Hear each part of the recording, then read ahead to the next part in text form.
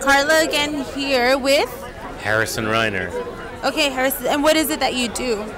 I was a producer, one of a couple of producers, but producer and co writer on the feature film Amar a Morir.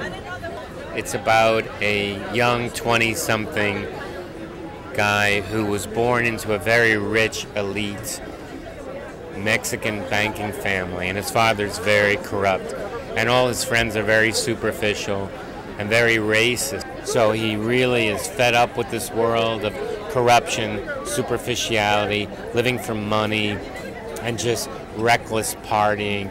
And he runs away, and he takes a wrong turn down a wrong road, and he ends up in this obscure surfing beach community and he has a love at first sight with a local girl his father would never approve of. Awesome. Well, I'm so excited to see it. I hope you come see it. Yes, We'd love to have yes. you. And can you tell us when we'll we'll will it be screening?